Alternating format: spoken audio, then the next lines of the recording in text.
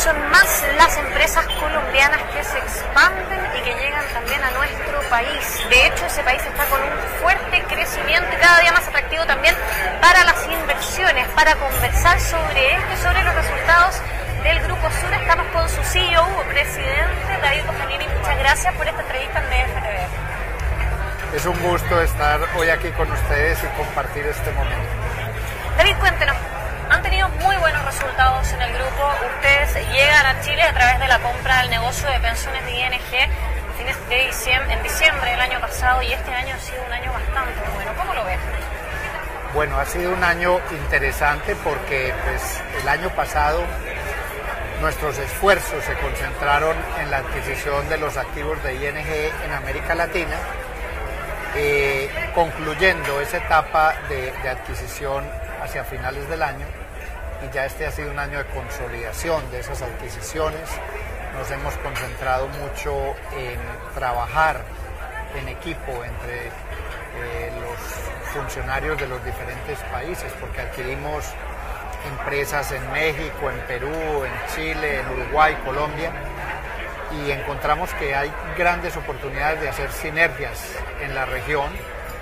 Curiosamente, eh, gran parte de esta adquisición eh, se concentra en los países de la Alianza del Pacífico y vemos cómo hay eh, muchas similitudes, oportunidades de negocios y nuestra idea es esa, crecer, consolidarnos en cada uno de estos países y pues hasta ahora hemos visto unos resultados muy buenos, pero hay grandes oportunidades hacia adelante.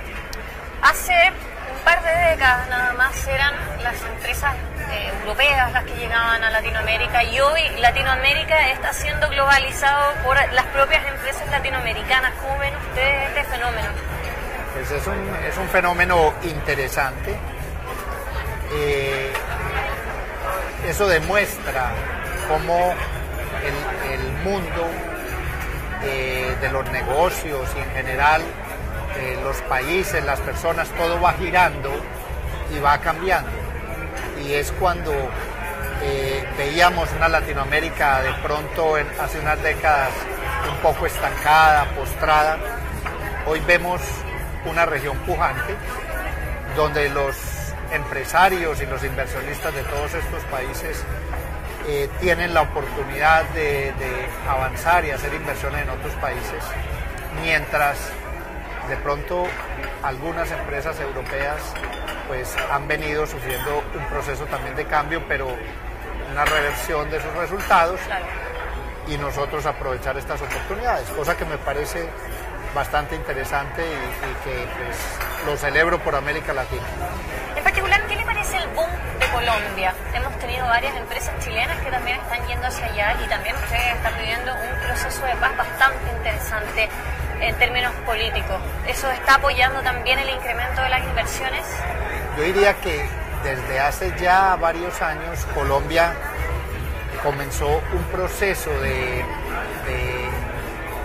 institucionalización y entre ese proceso incluía mejorar las condiciones de seguridad a los inversionistas, a los ciudadanos.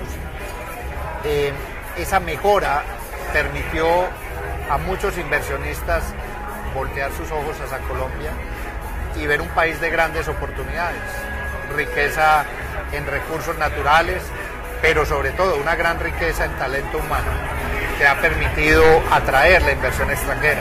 Ojalá el país pueda alcanzar esa anhelada paz que consolidaría mucho ese proceso de inversión en nuestro país. Finalmente, para cerrar muy brevemente en pos del tiempo,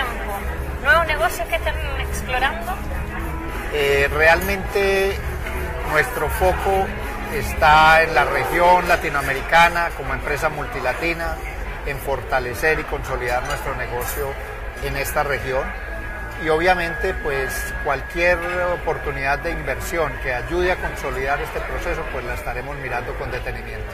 Muchas gracias, gracias por esta entrevista, por este análisis. Muy buen Mucho retorno gusto. a casa también. Muchas gracias. Y así dejamos esta entrevista en DFTV y yo los dejo invitados a una próxima.